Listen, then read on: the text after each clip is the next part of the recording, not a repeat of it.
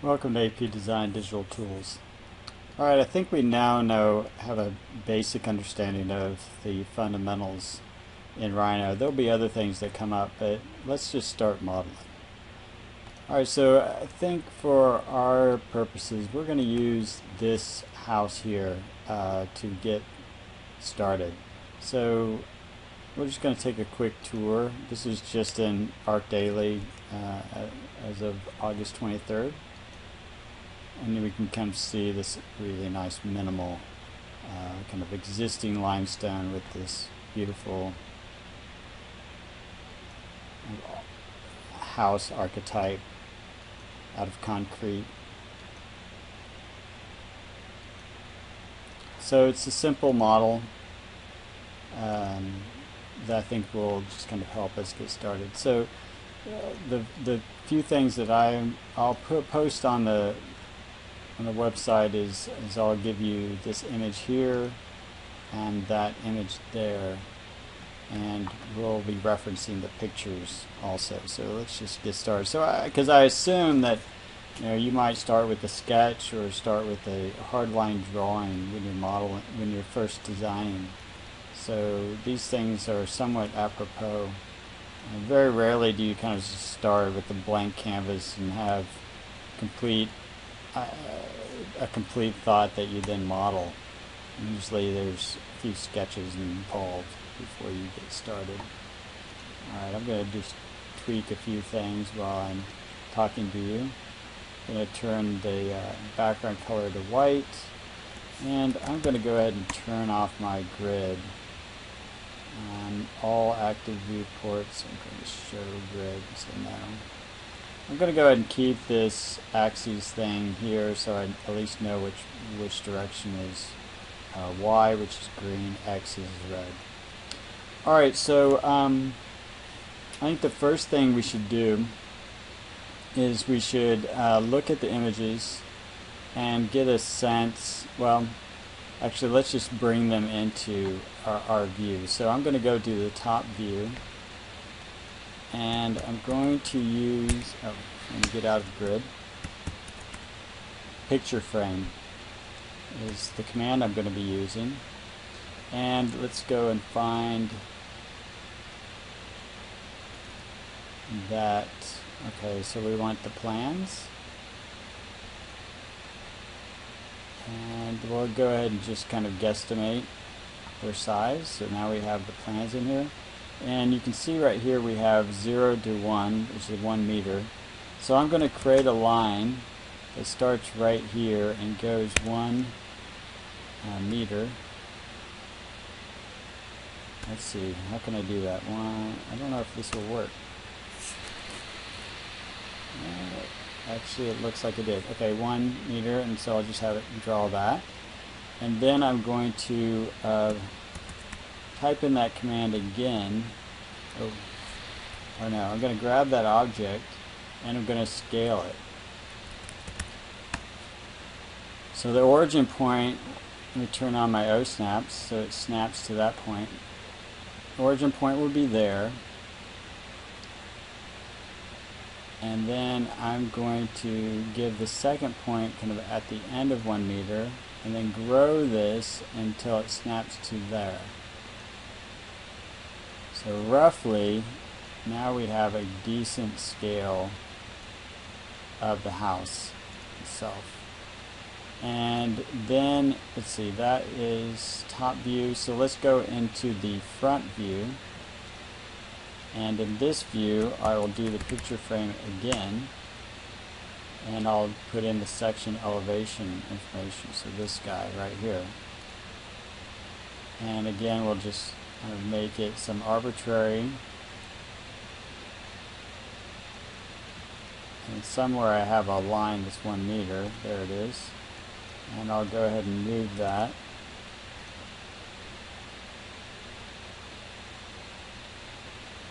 And turn off ortho.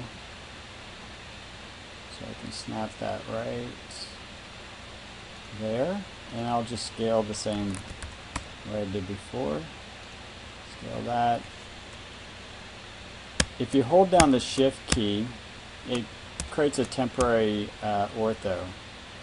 So you can see that since I have the shift is snapping to the ortho. So I can do that. Again, pick that point and then have it scale up.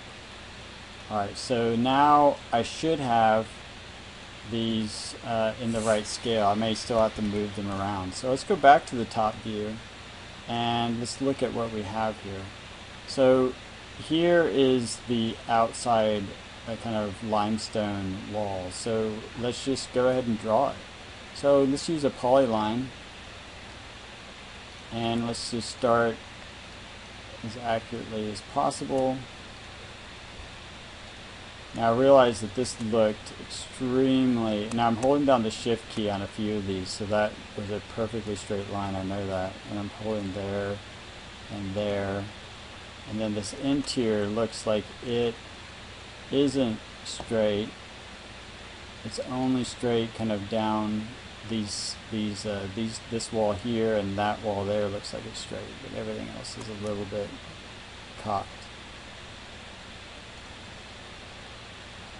Again, just uh, going through roughly at a slightly better resolution drawing might be even more accurate looks like I might have wanted to make that another point in here. No worries. What you can do is you can select that curve and we can go ahead and edit and I can what each of these points that I created was a control point. So now I'm going to go into control points under edit and I'm going to um, I'm going to insert a control point. So now it's asking me, okay, it's snapping to center, so I actually probably want to disable. And I'm going to click on a point that's close. Okay, now you can't see it, but there is now, should be a control point there. To see them, what you can do is go and click on these edit points. You can also just type in PON and it will create, you can see now these vertices, these control points. Okay, it looks like I didn't do what I thought I was going to do, so let me try it one more time. Insert control point. looks like I'm inserting it on the on the picture itself, not this guy So that's a problem.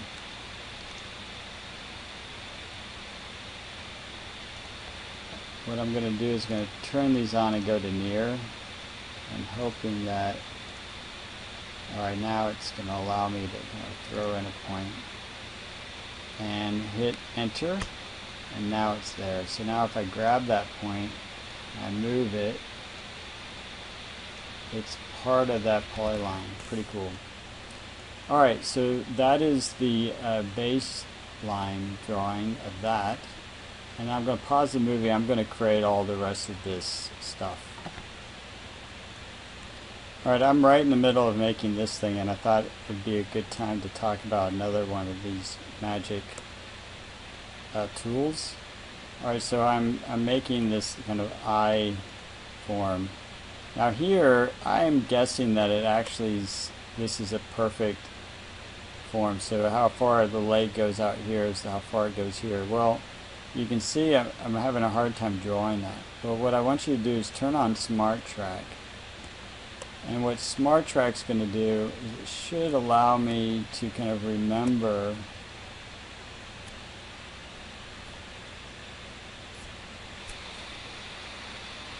um, points that I've already made.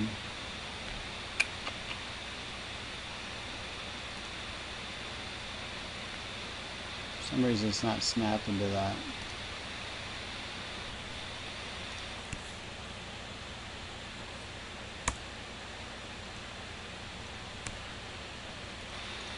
What I'm going to do is I, I went ahead and finished that polyline. I just hit return in the middle of it. I'm going to start a new polyline right here.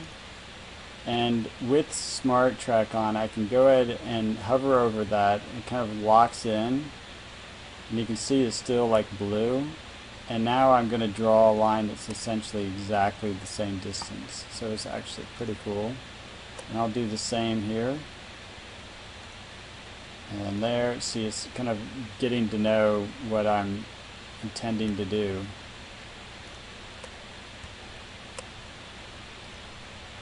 And snapping, essentially um, being smart. Alright, so now I have two polylines that are separated. Now as long as they actually have one point in common, which they should, right down here and there, I can do what's called a join. I think the join's under edit. I can do it there, or I can just type in join. Once you get to know the commands, you can just start typing, and eventually it kind of even gets smart and knows that that's the one you want. So now if I select it, you can see that's all one big polygon. All right, let's do a, a couple extrudes and then we'll, we'll end this video and move on to another one. All right, so let's go to perspective mode so we can kind of see the magic. All right, so we have those two things.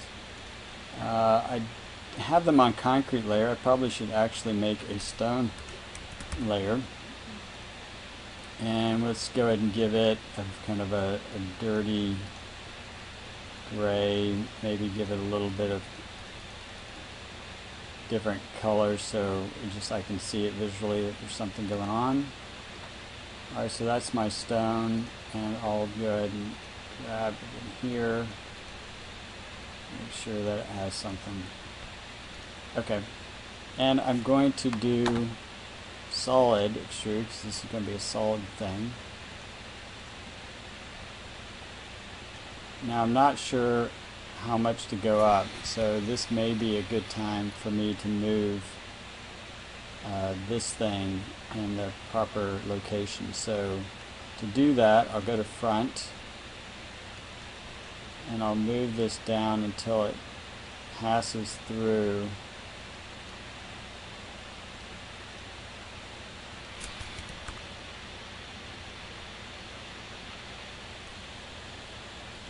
what I'm doing is drawing a line. It looks like I'm pretty close to that line. Okay, that's getting close. Now I might want to move this over so they have something in common. So I'm using my eye and okay that looks pretty close. It looks like I could scale this slightly. And that's going to be, uh, it's going to be a little hard to do. To use a little bit of magic. There we go. Alright. Alright, so now we're, we got those things, two things in kind of in common and I can see if I you do the extrude I'll see if it's visually accurate so it's snapping to something right now in the background so 8.8 .8 feet that's probably pretty close we'll go 8.75 just so we have something to base it on and it looks like we're almost there. Alright, so before I end this movie, I'll use one more command that I think is rather magical. Alright, so we have this, this pretty good uh, solid wall. What I'm going to do is use what's called move face. I don't really remember where that is coming from. Sorry for the cat in the background, but oh well faces. Alright, so move faces. So under solid edit tools, I'm going to move face. Many Rhino users don't even know about this command. This is this is the magic stuff, right? This is stuff that's hidden That is awesome. Now we'll see if I get it right. I'm going to move it up 4 inches. Okay, it looks like more like 6 inches. Maybe 5 inches. Okay, that's perfect. Voila. Okay, so even here, say I wanted to make that wall a little bit longer. If I hit enter again, it just uses the last command that I use. You can see that it's letting me uh, grab multiple faces. That's up to you whether you need that or not. But I'm going to assume no. So now we have the beginnings of that house. Alright, great.